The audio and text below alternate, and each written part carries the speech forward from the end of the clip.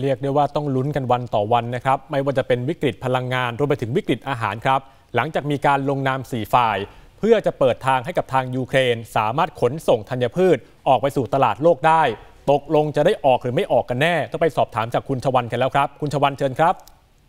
ครับ ทั้งสองท่านครับเมื่อวานนี้เราอาจจะพูดได้นะครับ ว่าทุกสายตาของโลกทั้งใบเนี่ยจับจ้องไปที่การขนส่งสินค้าหรือว่าธัญพืช จากทะเลดำออกไปนะครับ แต่ปรากฏว่าลงนามเพียงแป๊บเดียวเท่านั้นครับ ก็มีการยิงจรวดเข้าไปที่ท่าเรือโอเดซาแต่ล่าสุดเนี่ยก็มีสัญญาณบอกนะครับว่า การขนส่งนั้นจะเดินหน้าต่อไป และก็จะไม่สะดุดหยุดลง เหมือนกับที่ว่าหลายคนนั้นกังวลนะครับ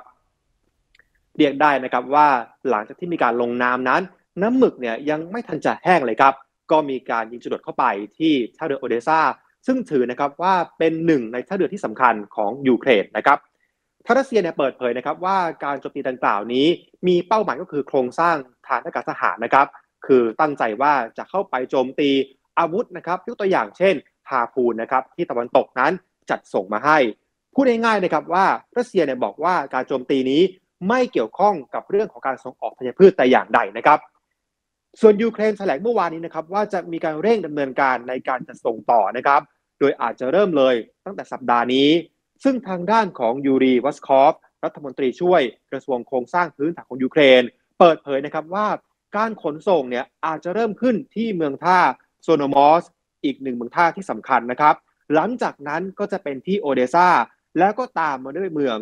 พิฟเดนนีนะครับ โดยที่การขนส่งจะมีเรือกู้ภัย แล้วก็จะมีเรือนำทาง เพื่อที่จะหลบทุ่นระเบิดในทะเลเพื่อความปลอดภัยนะครับ ซึ่งทางด้านขององค์การสหประชาชาติก็เปิดเผยนะครับว่า การส่งออกธัญพืชนี้ จะเดินหน้าต่อไปอย่างแน่นอนนะครับ และเชื่อแหละครับว่าเรือลำแรกที่จะส่งออกธัญพืชของยูเครน จากเมืองท่าในทะเลดำก็อาจที่จะพร้อมเดินทางในอีกไม่กี่วัน ซึ่งถ้าเกิดว่าสามารถทำได้นะครับ ก็จะถือว่าเป็นเรื่องดี เพราะว่าสามารถที่จะระบายสินค้าในไซโล มากกว่า 20 ล้านตัน ที่ตอนนี้ถือว่าติดอยู่ในยูเครนนะครับ และเชื่อแหละครับว่าจะสามารถช่วยในการลดปัญหาราคาอาหารที่แพง ปรับลดลงมาได้นะครับ และอาจจะเป็นการช่วยประเทศในบริเวณแอฟริกาที่ตอนนี้ถือนะครับว่าเดือดร้อนอย่างหนักจากปัญหาราคาอาหารที่พุ่งสูงขึ้นนะครับ ในขณะเดียวกันทางด้านของตุรกีในตอนนี้ก็บอกนะครับว่ามีความพร้อมในการเป็นตัวกลางที่มีประสิทธิภาพ จะเตรียมพื้นที่ทางกายภาพสำหรับศูนย์ประสานงานร่วมนะครับ มากไปกว่านั้นเนี่ยทางตุรกีก็บอกนะครับว่าอาจจะเป็นตัวกลางในการตรวจสอบนะครับว่า การขนส่งธัญพืชนั้นโปร่งใส ไม่มีการส่งอาวุธนะครับสำนักข่าวรอยเตอร์เปิดเผยว่าบริษัทขนส่งทางทะเลของตุรกีเองก็ต่างมีความหวังและคาดนะครับว่า การลงนามสี่ฝ่ายที่เกิดขึ้นนี้ จะเป็นการเปิดเส้นทางเดินเรือทางทะเล และบริษัทเหล่านี้จะสามารถรับหน้าที่เป็นผู้ขนส่งสร้างรายได้นะครับ พร้อมๆกับเป็นการช่วยคนที่เดือดร้อน จากปัญหาในเรื่องของการขาดแคลนอาหาร แม้ว่าอาจจะมีความเสี่ยงสูงจากทุ่นระเบิด รวมไปถึงการที่บริษัทประกันภัยบางแห่งนั้น อาจจะมีข้อสัญญายกเว้นความรับผิดจากเหตุวิสัยที่เกิดขึ้นจากทุ่นระเบิด แต่ก็ดูเหมือนกับว่าหลายบริษัทนั้นมีท่าทีพร้อมที่จะเดินหน้าต่อ ถ้าเกิดพวกเขานั้นได้รับผลตอบแทนที่ดีพอและคุ้มค่า เพราะอย่าลืมนะครับว่าการเผชิญหน้ากันระหว่างรัสเซียกับยูเครนนั้นทำให้หลายบริษัทนั้นถือว่าขาดรายได้นะครับอุปสรรคสำคัญในการขนส่งครั้งนี้ก็คือการที่ว่ายังมีการใช้อาวุธยิงกันไปมานะครับ รวมไปถึงทุ่นระเบิด ที่วางเอาไว้ในทะเล ซึ่งทางด้านของผู้เชี่ยวชาญด้านต่างประเทศ ยังศาสตราจารย์พลโท ดร สมชายวิรุณผล อาจารย์เปิดเผยนะครับว่า ในความเป็นจริงแล้วเนี่ยการยิงกันไปมาก็มีความเป็นไปได้นะครับว่าอาจที่จะเกิดอุบัติเหตุขึ้นสร้างความเสียหาย รวมไปถึงเรื่องของทุ่นระเบิดที่วางเอาไว้ก็ถือว่าเป็นอันตรายนะครับ แม้ว่าทางยูเครนนั้นจะเปิดเผยว่า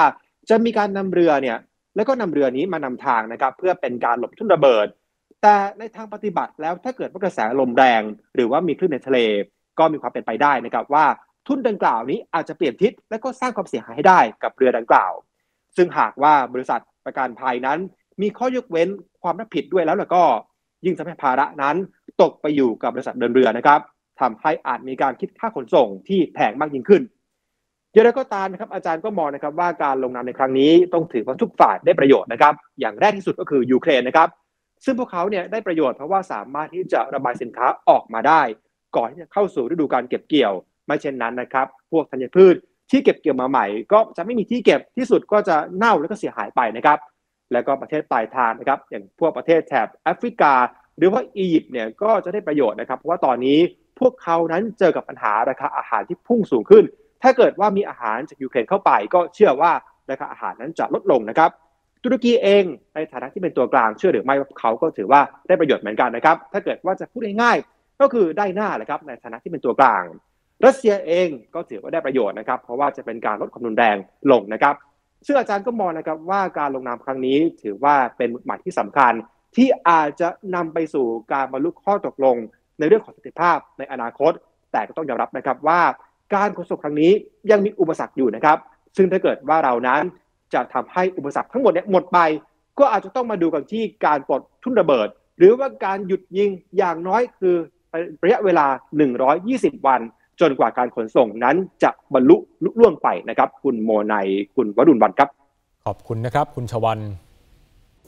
ขอบคุณที่ติดตามรับชมรายการ TNN News ข่าวเย็นนะครับ อย่าลืมกด subscribe กดกระดิ่ง กดไลค์กดแชร์ ในทุกช่องทางออนไลน์ของ TNN ช่อง 16 นะครับ คุณจะได้ไม่พลาดรายการสดและคลิปวิดีโออื่น ๆ ที่น่าสนใจอีกมากมายเลยครับ